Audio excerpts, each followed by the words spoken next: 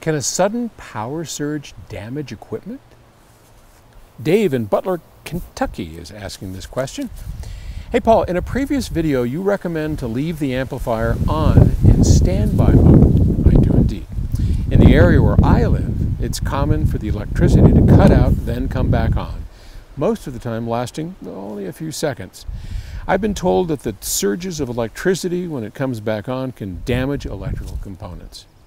Years ago, I bought a small isobar noise suppressor and surge suppressor for my computer.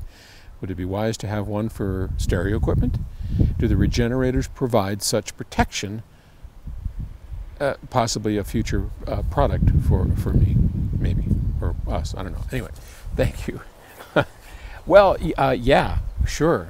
Um, sometimes when you have a power outage, when it comes back on, it comes on very high till everybody starts using the power again and then it lowers back down. It's pretty rare, especially if you're having these, you know, these outs and all of that. Um, I, we have, I mean, I live in Colorado, so I would say about every two days we have a quick power outage. I, I have UPS devices on my computer and all of that, and I hear that, you know, that's, the power went out, UPS kicked in, but our stereo system isn't hooked up to one, never bothers it. So I, I think that kind of damage is pretty rare. That said, it isn't not there, okay? So yeah, there can be damaging surges, spikes, and, and when you have a power outage, it comes back on at a higher level. Uh, and, and maybe a thousand times it happens, it's just fine. But then the thousandth, thousandths and one time it happens, it kills your, your equipment and that gets expensive. So a surge protector is great. Yeah, our regenerators, our little Dectet, uh, power bar, all of those things have complete safety for any kind of surge that would harm your equipment. And I mean, you can buy cheap things over at Home Depot that will do that.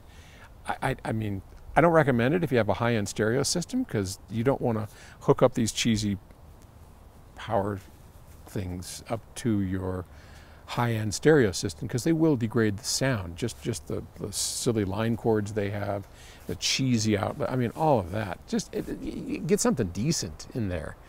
Uh, something you know that somebody who cared about sound quality actually built. I mean, you go to Home Depot the guy who's whoever's designing the, the, the, power protecting surge thing, he, he doesn't know that you want to have anything other than a toaster plugged into this, right? And he doesn't care. Why should he? He shouldn't. I mean, what you want is cheap and effective. That's what you want for your toaster. That's what you want for your television. I mean, it's not going to make that much of a difference. But for your high-end audio system, ooh, show some judgment on that. Use something that has been designed by people who understand sound and how to get the most out of it.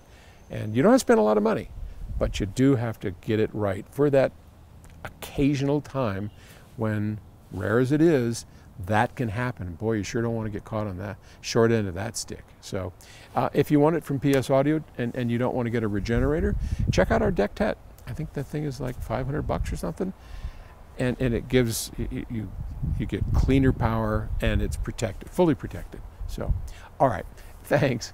Good luck out there. Maybe talk to the power contractor. What the hell's going on out here? All right, I'll talk to you later. Bye.